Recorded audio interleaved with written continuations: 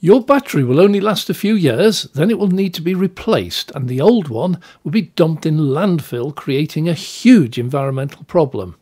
Have you heard that one? Well, Dave takes it on, investigates the facts be- behind this and other statements made against EVs to see whether any are true.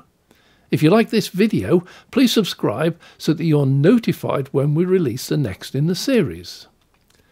I'm a great fan of Blackadder and Mr. Bean. I was surprised to find Rowan Atkinson making this and other claims on a video clearly against EVs. Link to that video down below.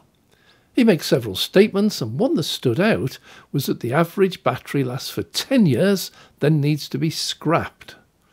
So, what's the truth? All EV manufacturers offer a warranty on their batteries. None are less than 8 years, and most have a limit of around 150,000 miles. So, fact one batteries are unlikely to need replacing within 8 years.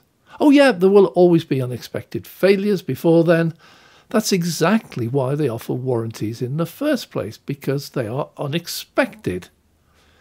Rowan also states that most people change their cars every three years, so most drivers will never need worry about changing their battery. But what about his 10 year claim? Well, the average driver in the UK drives less than 8,000 miles a year, although this figure dropped dramatically during recent years with lockdowns and travel bans. The source of this is the UK Department of Transport National Travel Survey. So at the end of 10 years, an average driver will have driven around 80,000 miles.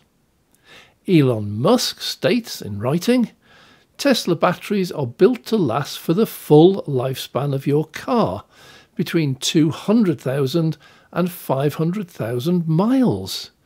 The average person drives 273 miles a week, so you can expect your Tesla battery to last anywhere from 15 to 35 years, depending on your driving habits. That three, 273 miles per week is in the US. In the UK, the equivalent figure is 160 miles per week. Now, he also released a graph showing battery degradation after 10 years for the Model 3. And This shows a total degradation of 12% after 10 years, and these figures include some cars that have covered 176,000 miles.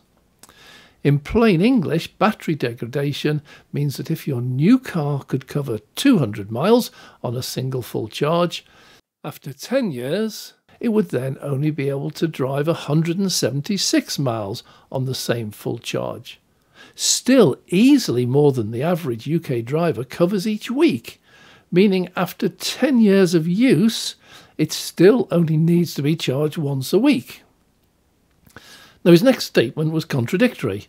He encouraged drivers to keep their ICE cars longer, saying they could be good for up to 15 years, and then said if he was asked, he would recommend an EV to someone who had an old diesel car and drives mainly in the city. And this advice is totally in line with government efforts to remove dirty old diesel cars from our streets.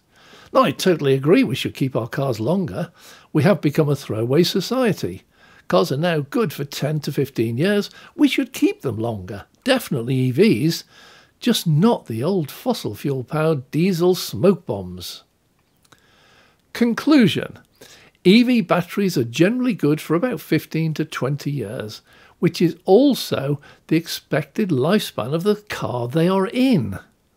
When they do need replacing, so too probably will the car itself. They're also 99% fully recyclable, and this is the subject of a future episode What happens when your EV battery finally dies? Thanks for watching. I'm Dave.